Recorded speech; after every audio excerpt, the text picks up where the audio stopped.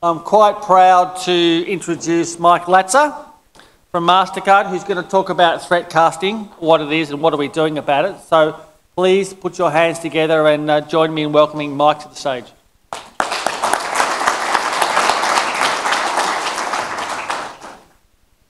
Hello, everyone, and welcome back from lunch. Always good to be the first one uh, after everybody stuffed themselves full of food. So I hope you had a nice meal.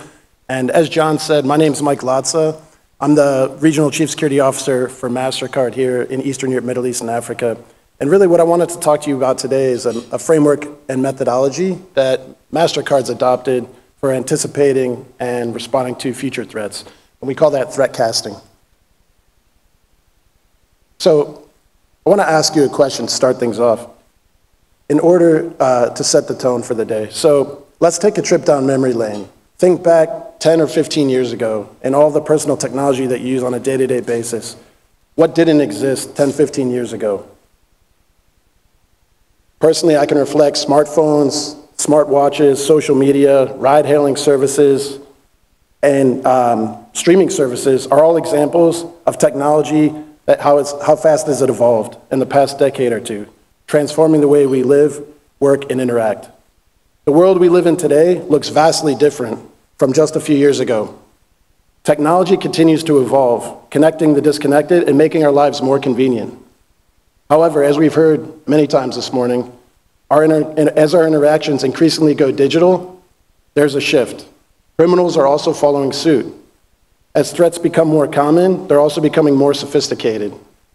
And corporations, critical national infrastructure, healthcare, and government services are all prime targets for threat actors.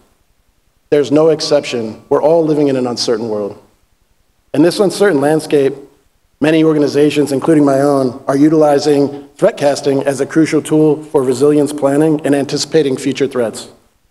Notably in the US, several government agencies, including the US Army and the US Secret Service, have adopted threat casting as a methodology. So what exactly is threat casting? Well, it's a structured and clear-cut approach to envisioning various potential future scenarios and threats within a complex and unpredictable environment.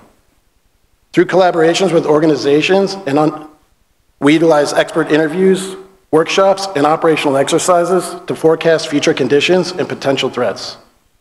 This process can equip your decision makers with concrete future indicators and actionable strategies to either shape the future or mitigate those potential threats. So I strongly encourage all organizations to consider adopting threat casting as part of their own resiliency planning, and that's what I'm here to talk about today. Because threat casting can act as a shield against strategic surprise. When a crisis occurs or an opportunity arises, leaders aren't caught off guard. Instead, their response is more informed, more strategic. We've been here before, we know where to start.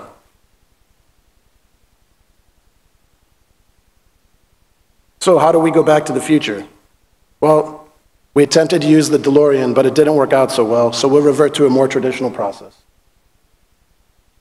At its core, threat casting is an advanced form of threat forecasting. It's just like it sounds. While traditional approaches typically look one, two, three years in the future, Threatcasting really challenges us to look 10 years into the future. This extended time frame allows us as organizations to stretch our imagination and envision a wide array of potential future threats. It provides us with a structured process to gather diverse inputs and engage in exercises aimed at exploring future scenarios. Simply put, threatcasting is a tabletop exercise looking 10 years into the future. Additionally, threatcasting equips us with a th- uh, systemic framework to retrospectively analyze these imagined future scenarios. This enables us to identify proactive measures now to disrupt, mitigate, and recover from anticipated threats effectively. To enrich our threat casting exercises, we've partnered with a renowned futurist from Arizona State University, Brian David Johnson. He sort of pioneered this concept, um, the idea of threat casting, and there's a lot of literature out there from him you can look up.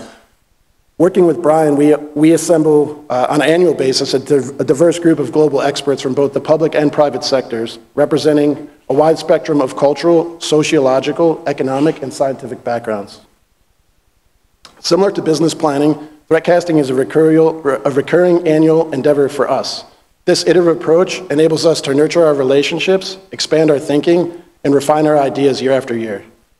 By envisioning multiple futures involving diverse demographics globally, we can iteratively refine our strategies and preparedness to address the multifaceted challenges and opportunities ahead. As an example of this collaborative engagement and how we've been taking this methodology globally to various regions outside the US, we recently partnered with the UAE Banks Federation, all the CISOs from the large and small banks, as well as the uh, central bank chief risk officer, and held a rapid threat casting looking at the aspirational strategy of the UAE financial ecosystem against emerging technologies such as AI, quantum computing, and Internet of Things. And from that, we've been able to identify potential disruptions to those aspirations that can inform their roadmap and planning uh, for the future of the UAE financial ecosystem. This is an example of how it can be utilized. So what is the purpose of threat casting, and why should we consider adopting this framework? The primary objective behind threat casting for us is to assist our chief security officer and our executive leadership team in anticipating and planning for future threats. This helps us extend our security roadmap. Think about your day to day, as we've, uh, we've heard mostly uh, all morning. You know, in, a, in this fast paced environment where most of our staff's deeply uh, engrossed in current threats, current projects, it's natural to prioritize the immediate tasks at hand. However, this focus on the present can really hinder our ability to think far enough into the future. When do we ever stop and think, what, what are the threats going to be to my business five or 10 years down the line? To effectively prepare for future threats, we must pause and shift our focus to that horizon. These exercises, through doing threat casting, it can serve as a vital tool to help us identify and prioritize potential threats that may lie ahead that we can't even see yet. This allows us to generate actionable insights into both possible and probable future threats and develop recommendations and strategies to address these challenges and fortify our resilience against the problems of tomorrow, starting today. So it's really about being proactive versus reactive. It's also important to acknowledge that the future is not singular, but rather comprises multiple potential scenarios. Threat casting allows us to explore these diverse futures and prepare accordingly. As I was saying, if you think back 10 years ago and the threats we were facing, and then what we're facing today with the onset of AI, generative AI, and some of the emerging technology, couldn't have seen a lot of this stuff coming. Recently, our threat casting exercises over the past year or two have focused specifically on emerging disruptive technologies such as quantum computing, the Internet of Things, and artificial intelligence. Over the next decade, the widespread adoption of these emerging technologies will expose greater vulnerabilities, providing ample opportunities for malicious actors, whether they be nation states, criminals, corporations, or individuals, to exploit data and identities for fraudulent purposes. As new technologies are introduced, they inevitably bring along new threats and risks. Consequently, the opportunities for fraud will multiply, driven not only by financial motives, but also by political and ideological agendas, as we've seen. So, how do we prepare for a threat casting exercise, or how could you prepare for a threat casting exercise? Um, well, there's a preparation phase which involves collecting information from those subject matter experts and developing the research question. And then we host a tabletop exercise. This can be anywhere from a day and a half to two hours, as we did with the central bank.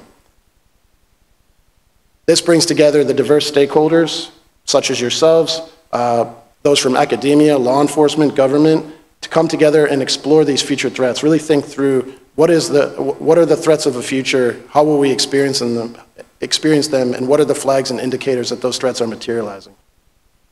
So the first thing we do in preparation is to define the research question.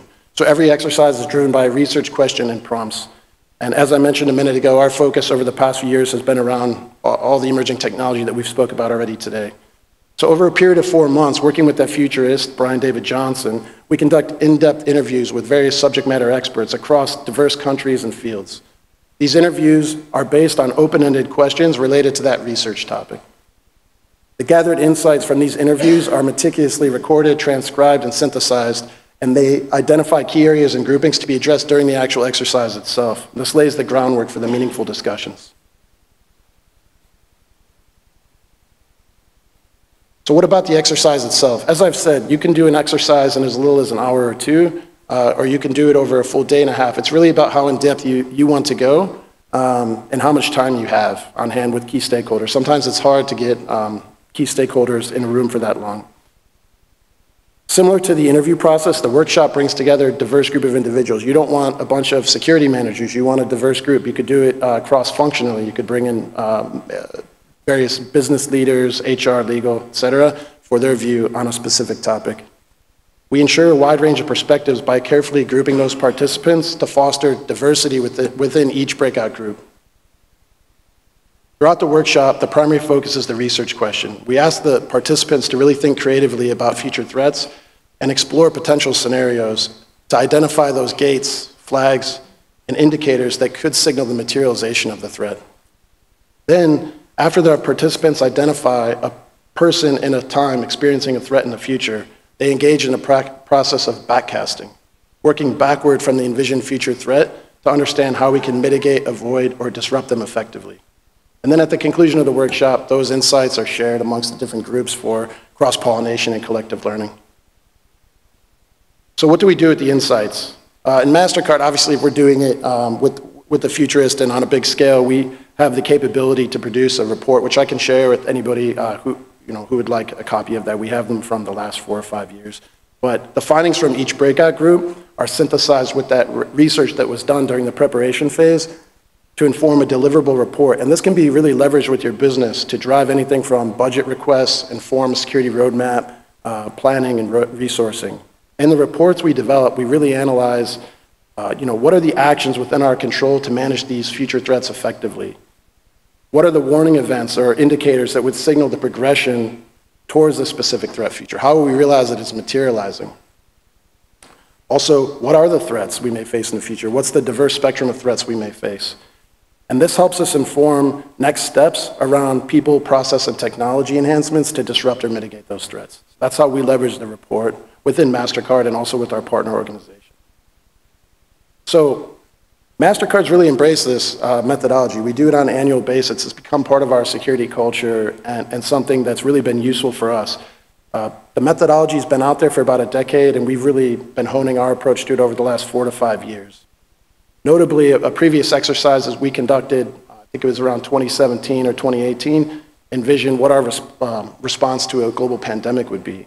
And as you, as you know, this could be really instrumental for us. Once COVID-19 hit, we were able to move a lot faster because we had generated a playbook off that exercise uh, in anticipation of, of such a threat.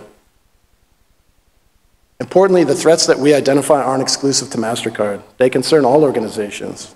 Threatcasting is not confined to us. It's a global endeavor, and we're committed to fostering a secure global digital ecosystem. Each year, we engage in threatcasting exercises, collaborating with partners, and partici- participating in industry alliances.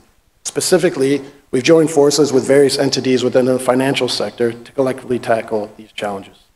Through this collaborative effort, we're able to bring insights to build a comprehensive understanding of the future threat landscape. Notably, we've shared our process with a group of seven G7 cyber experts group contributing to international progress in cybersecurity. So in conclusion, it's important to cultivate a future-oriented culture. Whether it's threat casting or any other framework you want to use, it's important to be thinking beyond just the here and now, beyond just the next few years. Threat casting is more than a methodology, it's a culture. It's about thinking ahead. We can bring together diverse perspectives, disciplines, and global insights to identify threats and plan mitigation strategies collaboratively. We could stay one step ahead of our adversaries, and I encourage you to make this something that you consider in your organizations to shape a safer digital future together. If given the time, it'd be great to take you all through a, a, rapid threat casting exercise, maybe something we can do in the future at an ISJ event. But I want to thank you for your time today for this brief overview of threat casting framework and why we should be using it to identi- identify, detect, mitigate, and disrupt future threats. If anyone is interested in learning more about the framework and methodology for adoption within your own organization, please don't hesitate to reach out to me. Um, here's my email address, and I thank you for your time.